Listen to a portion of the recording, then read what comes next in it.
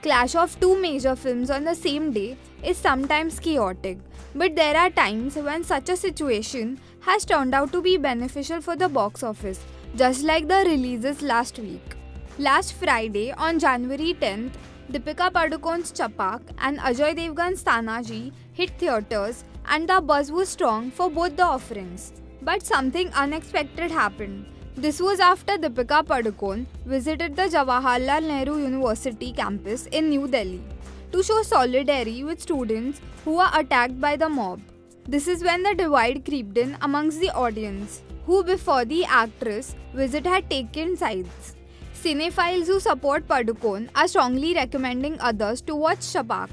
On the other hand, those who are opposing the movie to visit JNU are endorsing Tanhaji after all, the film is about on the life of Tanaji, who was Chhatrapati Shivaji's military leader. In the first, it was the box office that was at an advantage. If you are wondering why, let us take a look at the businesses of these films. Chhapaak, despite all the controversy, managed a decent start with an opening of rupees 4.7 crore. Remember that this Meghna Gulzar film is medium sized, reportedly made with a budget of 35 to 40 crore and was released across 1700 screens. Tanhaji is a big budget venture made with an investment of 150 crore and the movie collected over 15 crore. The good news is that both the films saw a strong growth trend on the second day of their release, while Tanhaji earned over 20 crore on the second day, taking the all over revenue to rupees 35.6 crore.